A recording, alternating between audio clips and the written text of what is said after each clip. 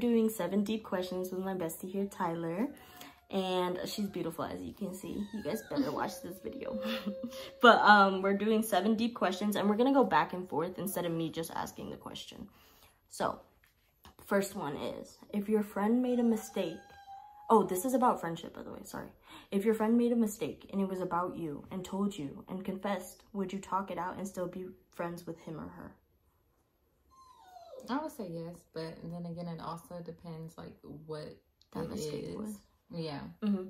like if it's like you slept with my man or something, no, we can talk it out, but I'm not forgiving you. Yeah. like So, um, for me, I feel like I would take anyone back.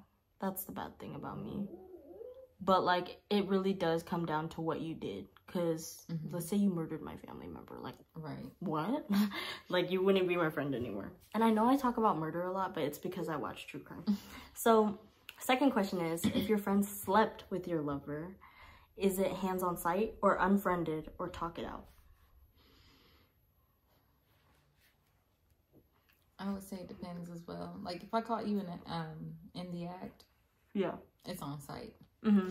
But if I found out like a month after it happened, like let's say I like read your messages or something, Mm-hmm. I'm just gonna cut you off.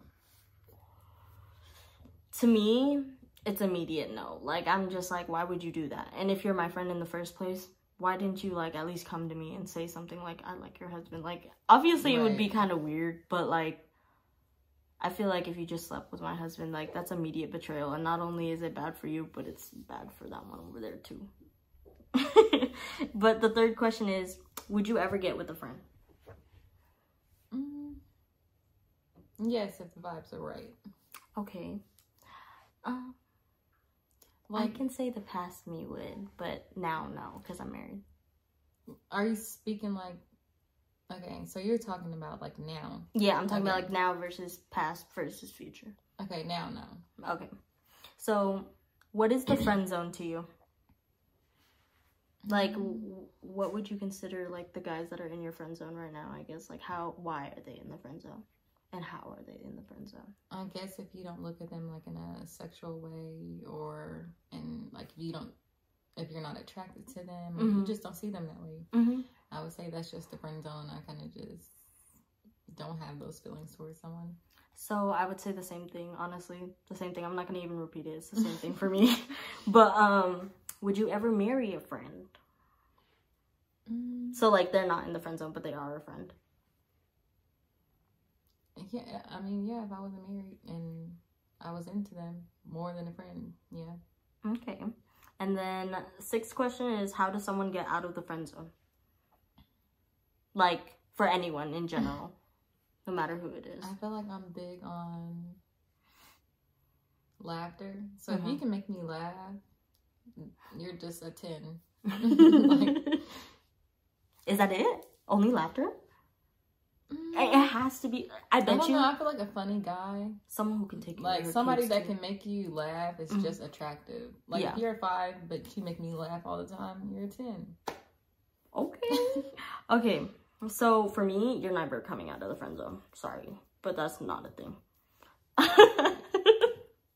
and last question: What's your advice on marriage since you've been married? Like, Mm, communication is key. wait, here's this.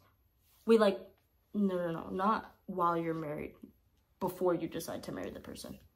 Oh, like what would be things that you should look for? Mm-hmm. Or, like, how to know you're ready to marry that person. I guess. Mm, I mean, that's a you thing, though. No.